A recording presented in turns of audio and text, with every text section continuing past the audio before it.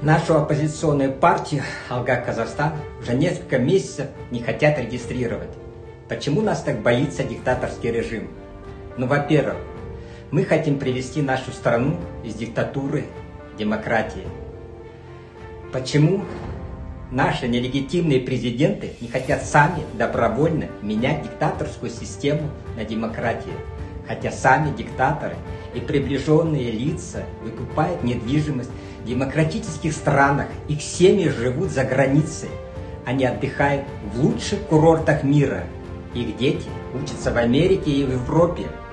Они лечатся только в развитых демократических странах. Покупают в демократических странах самолеты, яхты, машины, оргтехнику, компьютеры, айфоны. В общем, пользуются всеми благами цивилизации других развитых стран.